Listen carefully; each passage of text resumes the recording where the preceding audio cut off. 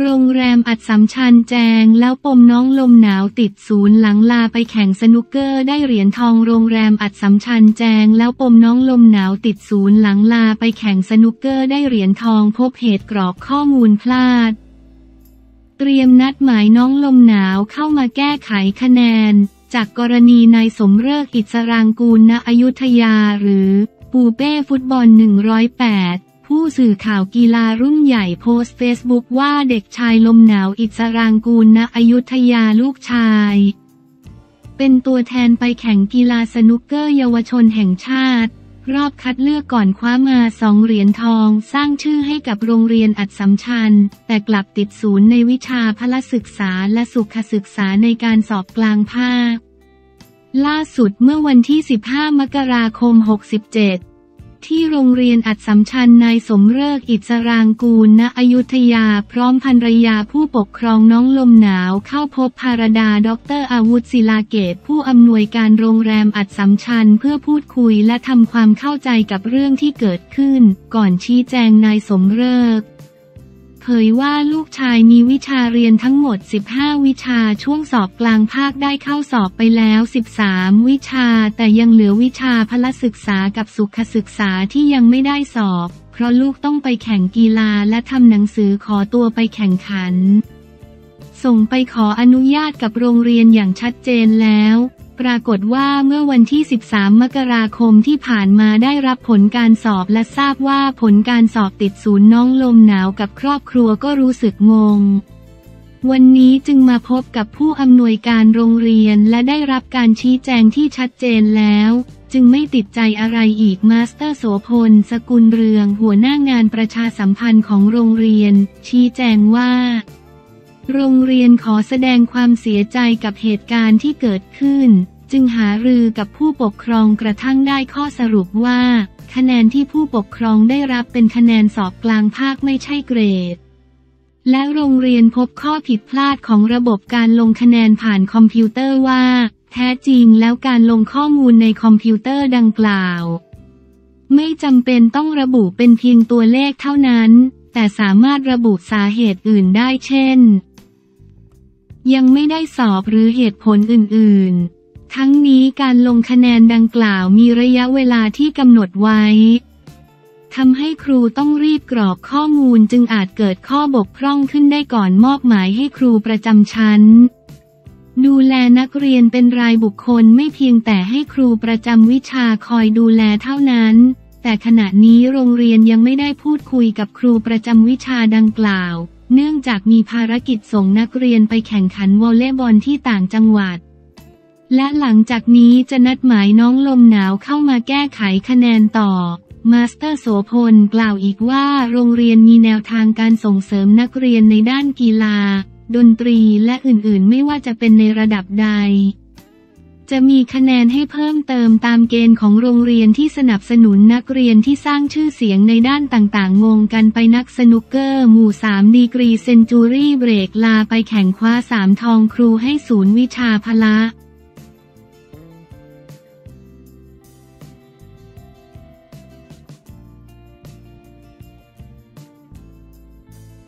สกู๊ปบันเทิง เบล โฟกัสงานพักหัวใจผ่านจุดพีครู้จังหวะชีวิตขึ้นลง ออกสตาร์ทแล้วซีรีส์สร้างแรงบันดาลใจรีเมคเกาหลีโดยค่ายทรู CJ Creation เรื่อง Start Up ทาง True ID นักแสดงสาวเบลเขมิสราพลเดชกับบทพาฝัน อีกหนึ่งไอดอลของคนรุ่นใหม่ในการเริ่มต้นทำธุรกิจ ได้พูดคุยถึงบทบาทในซีรีส์ที่ไม่ลังเลเลย หลังได้รับการติดต่อ ตอนที่ได้รับการติดต่อให้มาเล่นซีรีส์สตาร์ทอัพเวอร์ชันไทย รู้สึกยังไงบ้าง เบล ทีมงานก็ติดต่อมาว่าให้ไป cast คุยกับผู้กำกับและทีมก่อนว่าเป็นบทนี้สนใจไหมคือยังไงเราก็สนใจอยู่แล้ว เพราะเราเคยดูเวอร์ชั่นเกาหลีแล้วก็ love ซีรีส์เรื่องนี้มาก เลยไม่ได้ลังเลที่จะรับเล่นบทนี้ สกู๊ปบันเทิง เบล โฟกัสงานพักหัวใจผ่านจุดพีครู้จังหวะชีวิตขึ้นลง คาแรคเตอร์พาฝันเป็นอย่างไร เบล เป็นเด็กผู้หญิงที่มุมานะอยากจะมีสตาร์ทอัพของตัวเองทั้งที่ไม่ได้มีความรู้หรือเก่งเทคโนโลยีเลย แล้วพาฝันจะมีประเด็นกับพี่สาวคืออลิสเล่นโดยพี่ก้อย อรัชพรโพคินพากร การร่วมงานกับนักแสดงนำคนอื่นๆ เบล อย่างพี่เกรซสพลอัศวมั่นคง และพี่ก้อยเคยเล่นด้วยกันมาแล้ว ส่วนพี่อัพ ภูมิพัฒน์เอี่ยมสำอาง ไม่เคยคุยกันเลย แต่เขาเป็นรุ่นพี่ที่โรงเรียนเรา โชคดีที่ว่าวัยมันใกล้ๆกันก็ปรับจูนได้ไม่ค่อยยาก กับก้อยเล่นเป็นพี่น้องกันแต่มีคอน FLICT ในเรื่อง เบล คือมันสบายในเวของเรากับพี่ก้อยอยู่แล้ว เรื่องนี้เราเข้าด้วยกันเยอะมาก โชคดีที่เรารู้จักกันอยู่แล้ว รวมถึงมีเคมีบางอย่างที่บอกว่าคนนี้คือพี่เรา เราไว้ใจเขาและเขาก็ไว้ใจเรา เลยไม่ได้ยากต่อการที่จะเล่นซีนอะไรก็แล้วแต่เลย สกู๊ปบันเทิง เบล โฟกัสงานพักหัวใจผ่านจุดพีครู้จังหวะชีวิตขึ้นลง ธุรกิจสตาร์ทอัพต้องทำความเข้าใจเพิ่มหรือมีความรู้อยู่แล้วเบล เบลไม่รู้เรื่องเลยค่ะ ก่อนเวิร์กช็อปการแสดงเราไปเวิร์กช็อปธุรกิจสตาร์ทอัพก่อนคือไปเรียนกับคณะสตาร์ทอัพที่จุฬาลงกรณ์มหาวิทยาลัยเป็นสิ่งที่ใหม่มากต้องทำความเข้าใจกับมันมากๆ หนีไม่พ้นเรื่องการเปรียบเทียบ เบล ตอนที่ประกาศจะมีรีเมคมีคอมเมนต์มากมาย เริ่มเครียดทั้งที่ยังไม่เริ่มต้น แต่พอได้ทำเวิร์กช็อปเริ่มถ่ายได้คุยกับผู้กำกับ และ acting coach ได้เจอทีมงานที่ตั้งใจทำงานนี้ เราก็ไม่ได้กังวล มันเป็นเรื่องปกติของซีรีส์รีเมคจะต้องโดนเปรียบเทียบ ยอมรับว่าในเวอร์ชั่นเกาหลีทำไว้ได้ดีมาก เราก็เปิดรับทุกคอมเมนต์ที่เหลือหลังจากนี้ก็ต้องให้คนดูเปิดใจดูซีรีส์สตาร์ทอัพในเวอร์ชั่นไทยกันเยอะๆค่ะ สกู๊ปบันเทิง เบล โฟกัสงานพักหัวใจผ่านจุดพีครู้จังหวะชีวิตขึ้นลง ดูเหมือนเงียบๆแต่งานเพียบเหมือนกันนะ เบล คืองานมีมาเรื่อยๆ แต่อาจจะยังไม่ได้มีเรื่องไหนที่เปรี้ยงปร้าง แต่ว่าก็ดีใจที่คนยังนึกถึงเราเรื่อยๆ มันเป็นจังหวะเวลาของแต่ละคนคือที่ผ่านมามันเคยมีเวลาของเราไปแล้ว คนเรามีขึ้นก็ต้องมีลง เลยไม่ได้กังวลอะไรเราก็คงยังรักในการแสดงต่อไป เพราะการที่เราได้เล่นในหลายๆ บทบาทมันก็สนุกเลยไม่ได้รู้สึกท้อแท้อาชีพนี้ สกู๊ปบันเทิง เบล ฟกัสงานพักหัวใจผ่านจุดพีครู้จังหวะชีวิตขึ้นลง ทุกวันนี้งานคืออันดับหนึ่งเลยไหม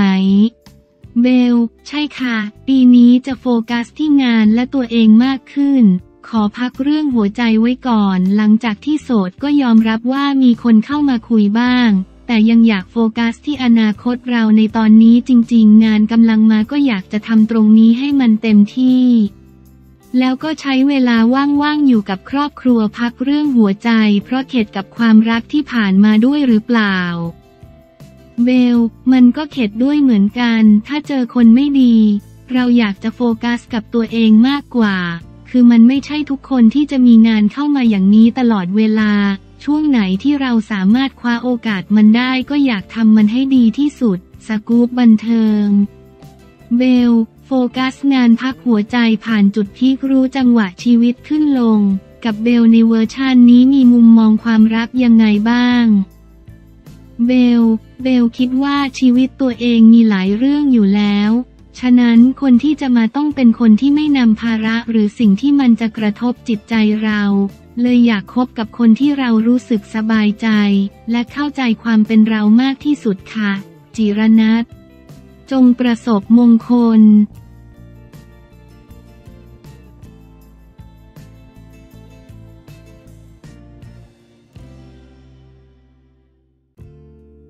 ปิงซีโฟเปลี่ยนชื่อใหม่เพื่อชีวิตใหม่อ่านยากหน่อยแต่ความหมายสุดปังปิงซีโฟเปลี่ยนชีวิตใหม่เนื่องในโอกาสขึ้นปีใหม่เปิดศักราชใหม่ 2567 ตัดสินใจเปลี่ยนใหม่หมดทั้งชื่อจริงและชื่อเล่นจากเดิมชื่อเล่นปิงเป็นนดานดา ชื่อจริงสุภรดาเป็นทรตนนทนตะนนนดา โพสต์แจ้งข่าวผ่านเฟซบุ๊กส่วนตัว ร้อมกับอธิบายความหมายไว้ว่า9โมง9นาที ข้าพเจ้าได้เปลี่ยนชื่อใหม่และลาจากชื่อเดิม ทั้งชื่อเล่นชื่อจริงที่อำเภอเรียบร้อย โดยได้กราบเท้าขออนุญาตแม่ผู้ให้กำเนิด และรับพรจากแม่แล้วโดยขอประกาศว่าเครื่องหมายสี่เหลี่ยมนับจากนี้เป็นต้นไป เรียกชื่อเล่นว่านาดา อ่านว่านาดา เหตุที่ไม่เติมสระอาเนื่องจากสะดวกรวยและดีงามทุกอย่างแบบนี้ ตามที่พระท่านให้พรปิงซีโฟเปลี่ยนชีวิตใหม่ ชื่อจริงลาจากสุภรดาเปลี่ยนเป็นทรตะนนคณะตะนนอ่านยากแต่เชื่อว่าข้าพเจ้าจะเป็นผู้หญิงที่งามทั้งกายและใจ รวยมากมีความรักที่ดีมาก มีชื่อเสียงมากและมีความสุขมากบุตรทั้งสองดีมากสมบูรณ์สุข ทุกด้านเครื่องหมายสี่เหลี่ยมตามความหมายที่แม่และพระให้พรมา โปรดเมตตายินดีกับเรื่องดีเลิกดีนี้ หากจะทำให้ชีวิตหนึ่งจะดีขึ้นตามปรารถนา แบบที่ทุกท่านก็ปรารถนาเช่นกัน